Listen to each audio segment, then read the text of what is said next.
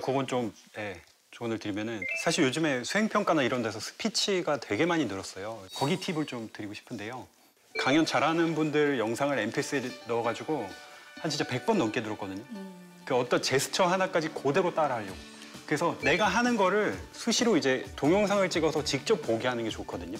아, 요게 부족하구나 바로 할 수가 있거든요. 그래서 빨리 늘릴 수가 있고 한두 개만 정도만 해도 굉장히 많이 늘 것 같습니다. 네.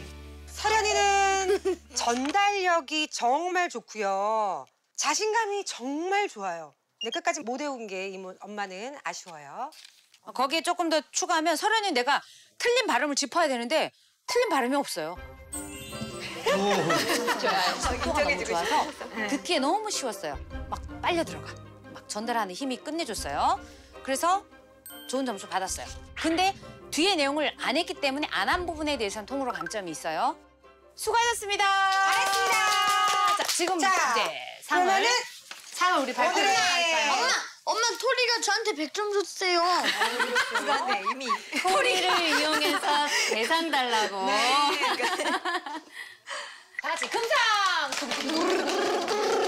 바로 장치를 하셨구나. 박수령!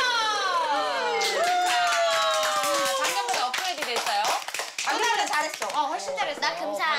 예, 나 그 다음에 금상. 두 나도 금상. 예, 나도. 예. 오! 좋아! 가급적으로 시연이가 내 차례입니다.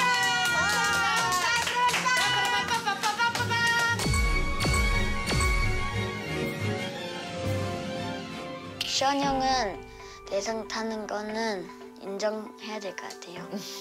좋은. 자세입니다. 승패 인정. 네. 엄마 토리 저한테 100점 줬다니까요.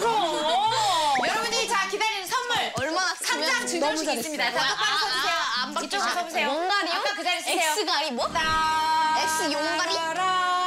가리용? 크로 X 가리. 너무 가깝다. 너무 부럽겠다. 빨리 안 오면 금상도 선물 없습니다. 금상 와주세요. 자, 금상 어린이 받아주세요. 어? 금상 두 명.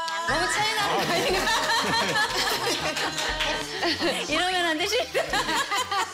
선물 진짜 좀 중요하거든요. 네. 한 10배 차이가 나요. 걸로.